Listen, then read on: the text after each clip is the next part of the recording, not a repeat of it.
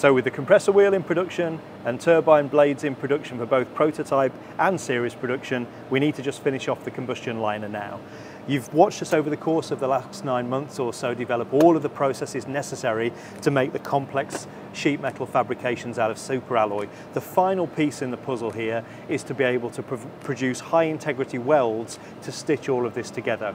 We've opted for a laser welding process here and we've subjected some test samples using these processes to a bunch of structural tests over the course of the last couple of weeks. We had the results back in the, over the last couple of days for that and we're able to achieve essentially parent metal properties for the welded areas in between the adjacent leaves. So that puts us in a perfect position to be able to meet the life requirements and the endurance requirements of the combustion system.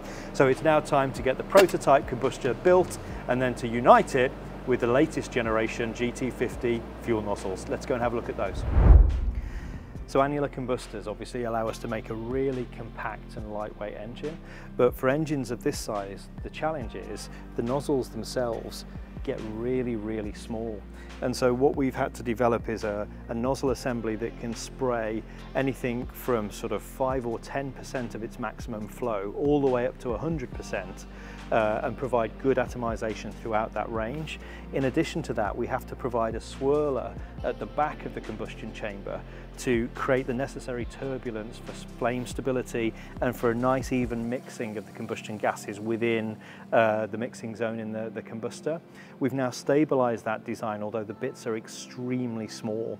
And so those components are now being prototyped for us uh, and they then will go on a flow test rig where we'll actually measure the droplet size of the fuel that's created because it's vital that over the full operating range, those droplets are small enough that when the aircraft is at high altitude, on cold days, if you had a flame out, you could reignite up under those conditions and then still give good combustion and good combustion efficiency throughout the other range uh, of much higher fuel flows so that you can keep the engine operating efficiently across its entire operating range.